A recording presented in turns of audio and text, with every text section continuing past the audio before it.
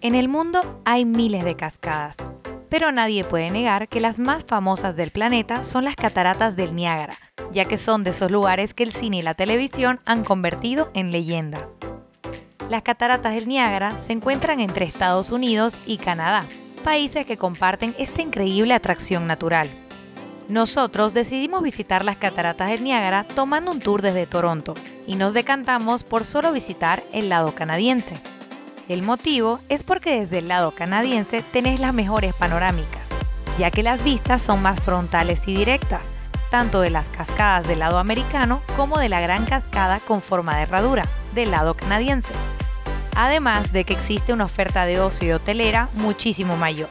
Pero si tenés más tiempo y las visas, podés visitar ambos lados cruzando la frontera caminando desde el Rainbow Bridge. Bueno, ya hemos llegado a las cataratas del Niágara. Estamos en la primera parada con una vista panorámica, tanto a la cascada que se llama Horseshoe y a la otra que vendría a ser del lado americano. Ahorita se las voy a mostrar, pero básicamente están allá. En las cataratas hay cuatro atracciones principales. La primera es el parque Rapids View. Este parque está en el centro de visitantes y aquí podrás comprar tus entradas al crucero Niagara Falls o al Journey Behind the Falls. También hay cafeterías y restaurantes para poder comer o tomar algo. Este lugar tiene unas vistas panorámicas fabulosas de las cataratas del Niágara desde Canadá y fue nuestra primera parada. Una actividad que no te puedes perder si visitas las Niagara Falls es hacer un crucero y acercarte a las cataratas. Esta es la excursión más legendaria. El precio es de 33 dólares canadienses por persona, que incluye el funicular y son 20 minutos que te acercan a la base de la catarata principal llamada Horseshoe Waterfall. Esta atracción hace el mismo recorrido que la que sale desde Estados Unidos.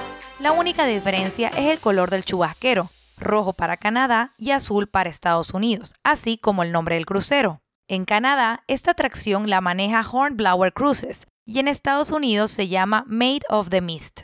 Y acabamos de subirnos al funicular que nos va a bajar. Por aquí. Y vamos a llegar allá al bote que nos va a llevar. Ahí está el bote que nos va a llevar ese trayecto ese tramo chun chun chun chun y hasta acá hasta ese punto de ahí nos va a llevar y luego nos vuelve nos vuelve chun y da la vuelta aquí y uh, se estaciona nuevamente ahí. Ya estamos aquí nos hemos subido al Uy, me dice Yello que prefiere ir para abajo así que yo estoy estamos encontrando el lugar perfecto para mirar todo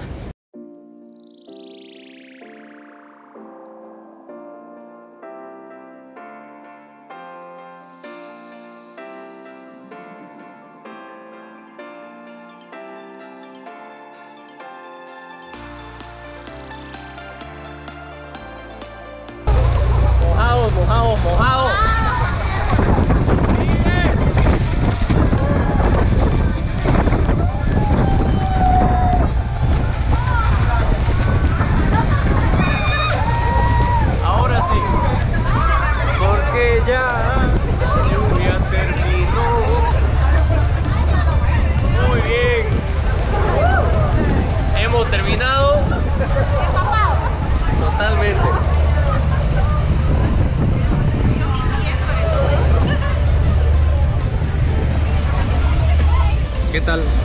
increíble increíble aunque me mojé demasiado ¿sí?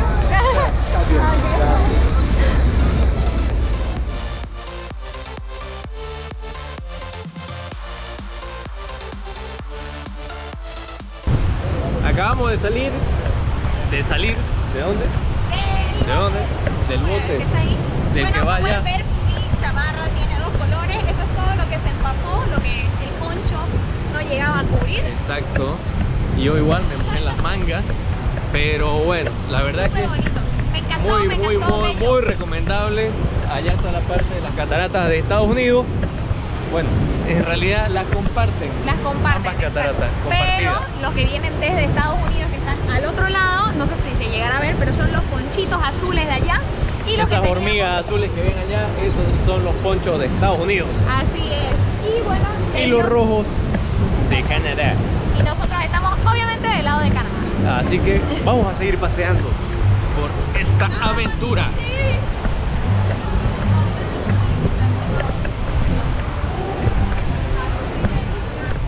Pretzel, pretzel. Otra atracción recomendada es el Journey Behind the Falls, y es el que la mayoría de personas realiza cuando visita las cataratas del Niágara en invierno, ya que el crucero no está habilitado en esas fechas.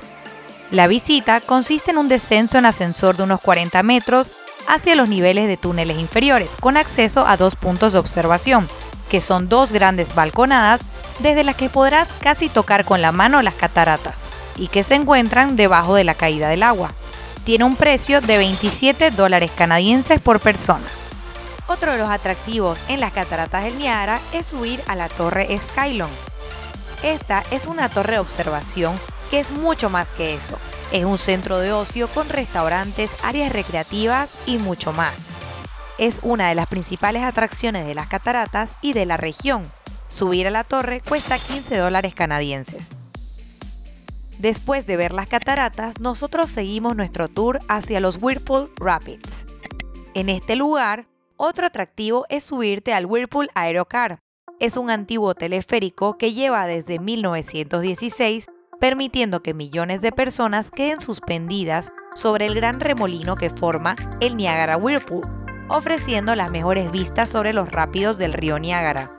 El precio de la entrada es de 15 dólares canadienses adulto, pero podés hacer como nosotros y solo ver este fenómeno natural sin subirte al aerocar. Otro de los atractivos en el tour de un día es visitar la ciudad de Niagara on the Lake. Esta es una pequeña ciudad canadiense ubicada en el sur de Ontario, donde el río Niágara llega hasta el lago Ontario. Es conocida como la ciudad más hermosa de Ontario y tiene una larga y distinguida historia.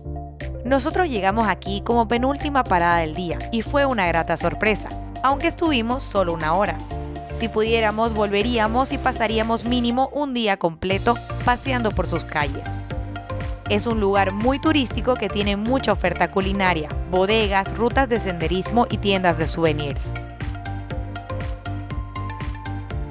Y ahora nos toca hacer el wine tasting, Wine o sea, decir, catar vinos. Y vamos a catar el vino llamado em, Ice, Ice wine, wine. que ¿Qué vendría de? de uva. De uva, No, de uva obvio. congelada. Así que lo vamos a ver qué tal. Por último, no podés irte sin probar el vino de hielo o ice wine en el Niágara, una de las delicias gastronómicas locales. Nosotros tuvimos una parada en una de las tantas bodegas que hay por la zona para hacer una cata de vinos locales y sobre todo probar el ice wine, que se produce en los viñedos de Niágara desde hace décadas. Bueno, ya estamos probando aquí el ice wine. Este es un vino típico de esta zona, un excelente souvenir. ¿Y cómo se hace? Básicamente dejan una porción de las uvas en el viñedo para que se congelen durante el invierno. Es un proceso totalmente natural y una vez con la uva ya congelada, eh, básicamente se deshidrata y se vuelve mucho, mucho más dulce. Y con eso es que hacen el vino. Pueden creer que es un espectáculo.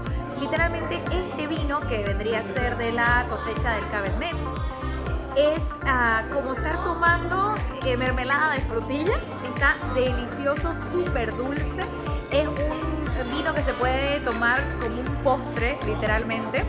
Y algo que lo hace es un poco más costoso que un vino regular. Y es porque este vino, eh, para cada uva, ya cuando pasa ese proceso en el invierno, solamente pueden sacar una gota de vino por uva. O sea que para hacer una botella de este estilo, se utilizan como 3.000 uvas. Ahí está, salud. Y esto es todo lo que puedes hacer en un tour de un día desde Toronto a las cataratas del Niágara. Así que no dejes pasar una visita a estos lugares y no te olvides suscribirte al canal y darle a la campanita para recibir las notificaciones de los próximos videos.